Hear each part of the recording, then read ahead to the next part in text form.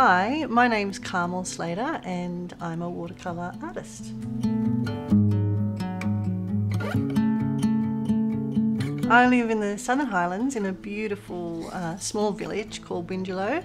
It's very much tucked away in the forest and uh, that's how we like it. It's sort of off the map. Uh, and we moved there five years ago to start a family and you know we found uh, mountain bike riding and, and bushwalks and uh, for me it's all about those trees. And I find that you know along the years you know I've been born in the country that we've always bushwalked and you know we'd go to see nature and observe nature.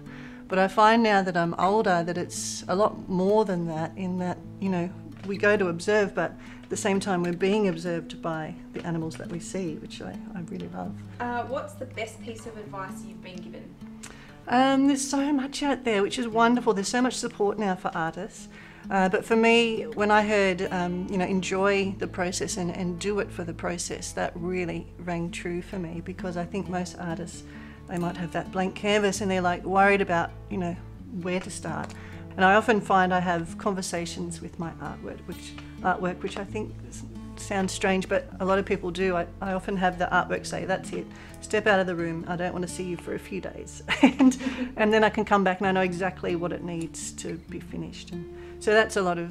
You know, I love the, the point that when you can sign your name and step back and be proud of, of that. I love the art trail and it's such a, an amazing um, I guess, place that we all live in and the support we get.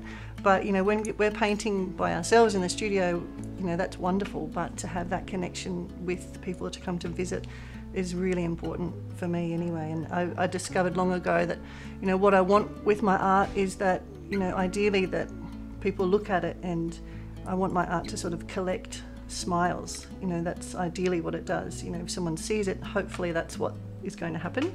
Um, I'm okay if it doesn't. Um, but this year it'll be interesting because people are hiding their smiles. I won't know how they're feeling, but I guess I'll be looking at people's eyes to see if they're smiling with their eyes. But also, I end up, I find that, you know, I end up talking to the visitors about what they're passionate about. And I love it when someone will say, I've always wanted to, you know, I've always wanted to try watercolour or or woodwork or, or, you know have a go at something but they're a little hesitant.